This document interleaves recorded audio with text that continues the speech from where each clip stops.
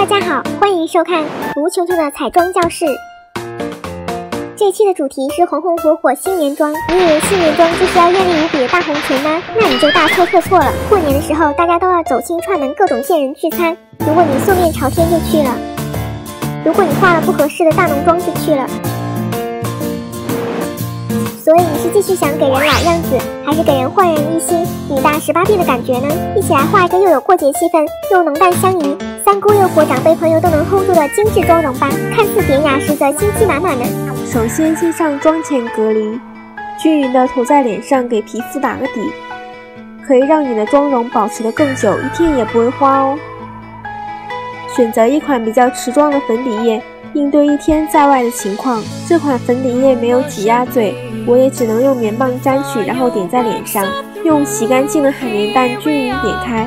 用湿润的海绵可以让粉底液更贴合皮肤，妆也会更持久啦。接下来是遮瑕，我主要遮泪沟位置、眼角位置、鼻翼两侧和嘴角两侧。这次的眉毛我要画的仔细一些，先用眉笔勾出轮廓，用眉粉填色，前面用中间那格淡些的。尾部用后面那个比较深色的，画完稍微梳理一下眉毛，然后用跟发色相近的染眉膏刷一遍。眼影我选用紫红色和米黄色相搭配，先用紫红色从眼尾斜度向中间晕染，下眼尾也要，然后再从眼头向中间晕染，空出眼皮中间位置，用带伞的米红色。点在眼皮中央，使眼睛立体闪耀。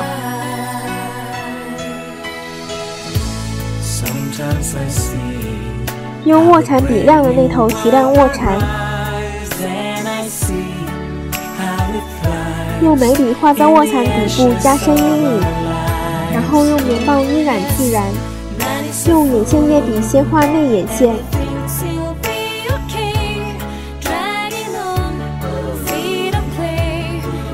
然后再画外眼线，画外眼线的时候，先画出眼尾的三角形区域，再从眼头顺一条线连接自然。记得一定要画顺画细，粗细适中的眼线，妆容才会更加精致。用米白色眼线笔提亮下眼线，可以让整个眼神变得更有神。接下来是夹眉毛。然后涂上睫毛膏，新年妆一定要赢在完整精致，又不能给人太浓的感觉，所以我选择半段假睫毛贴在眼尾，让眼睛更加迷人。眼妆完成，看看有画跟没画是不是差别很大？接下来我选择唇颊两用腮红，先用刷头点在颧骨上方，用海绵或手指晕染开，腮红的位置画的高些，离眼睛近些更有减龄的效果。之后用粉状的腮红再轻轻扫一遍，这样脸蛋一整天都红扑扑的。用腮红自带高光色提亮眼下，增加脸蛋光泽感。过年免不了要拍照，给自己稍微修修容，你会发现上镜更好看哟。口红我选择橘红色，不淡不浓，适合新年。用唇釉涂满嘴唇，然后用棉棒把边缘晕染开，多画唇线，妆看起来才不会那么刻意，嘴唇也会更饱满自然。这次我故意画了半边脸，给你们看看强烈的对比。好的妆容可以提升整个人的气场，增加自信和给别人的好感度。要不要优化，你自己看着办喽。化完妆后，我决定画一个猴年特定指甲，主色调肯定是大红色，过年嘛。但是大拇指要涂透明或者裸色，因为要在上面画一个猴头。先用棕色画出猴子的大脑袋，然后用造型笔画出它的两个耳朵，用白色画出一个心形的猴脸，